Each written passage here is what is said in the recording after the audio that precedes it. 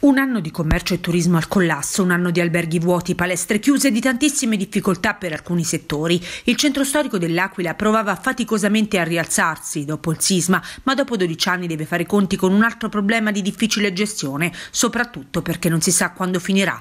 Nonostante questo ci sono imprenditori coraggiosi, quelli che resistono in centro e quelli che, nonostante il momento, hanno deciso di aprire una serranda nuova all'Aquila. Nell'ultimo anno basta farsi un giro tra le vie del centro storico per rendersi conto che qualcuno sfidato la situazione, ha aperto nuove attività lo stesso, ma i conti sono a zero quasi, pochissimi coloro che riescono a respirare. Probabilmente alla fine di tutto questo alcune imprese non riapriranno mai i battenti. Nel turismo si prova a ripartire. L'assessore comunale Aquilio porterà le istanze degli albergatori e degli attori interessati al ministro Garavaglia. Giorgio Carissimi si occupa per Conflavoro di pubblici esercizi e prova a tracciare un bilancio di quel che è, annunciando anche degli accordi con il comune tutto l'intero settore è in grave difficoltà, parlo di alberghi, di ristoranti, eh, anche altri, altri, esercizi, se parliamo del comparto della montagna è veramente fermo da un anno come le palestre.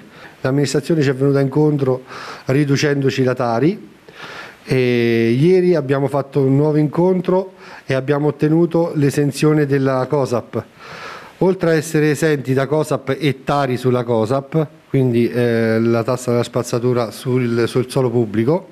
Siamo riusciti anche ad, ad ottenere la semplificazione quindi le domande potranno essere fatte con la semplice eh, richiesta in, eh, al portale impresa in un giorno, quindi è molto molto semplice.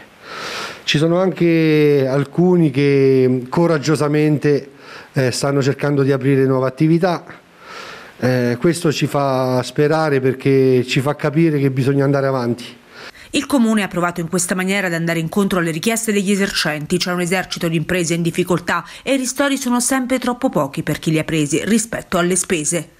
Chiediamo al, al governo di farci riaprire prima possibile, questo protocollo è completamente sbagliato, lo dicono i fatti, non lo dico io. Noi siamo chiusi da sei mesi eppure la gente continua a morire, eh, eh, diciamo, eh, i contagi salgono sempre e rimangono stazionari, significa che non siamo noi il problema di tutto ciò.